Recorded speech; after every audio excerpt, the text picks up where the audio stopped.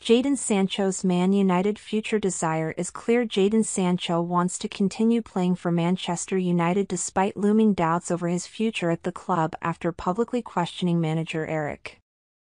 Ten Hagi Sancho is set for showdown talks with the Dutchman and wants to stay but he may have already dug his own grave. Point Ten Hag excluded the 23-year-old winger from the travelling United squad for last Sunday's 3-1 defeat against Arsenal after full time at the Emirates Stadium. Ten Hag admitted Sancho was missing due to poor training performances, stating he slipped below the levels expected under his walk shortly after. Sancho took to social media, releasing a statement effectively calling his boss a liar and claiming he had been made a scapegoat. Sancho and Ten Hag are expected to hold showdown talks when United's non-international players return to Carrington on Monday, but the Telegraph report that some figures at the club are doubtful there is a way back for the number 25 after he publicly questioned Ten Hag's authority, Steven Gerrard's.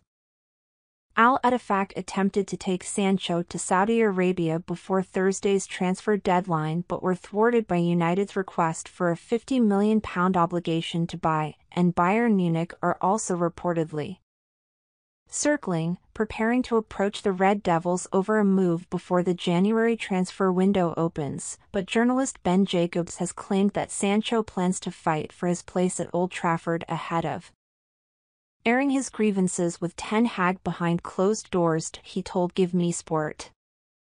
I think Jadon Sancho was very disappointed by Erik Ten Hag's comments that he, effectively, didn't perform in training. And that's why he wasn't in the Arsenal squad. Erik Ten Hag is equally disappointed to see an immediate response in public.